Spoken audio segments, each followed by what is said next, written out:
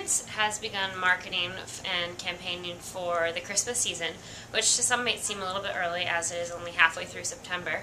But according to analysts, this is actually a really great tactic. Um, the more that these luxury brands and all brands push, uh, the earlier the better.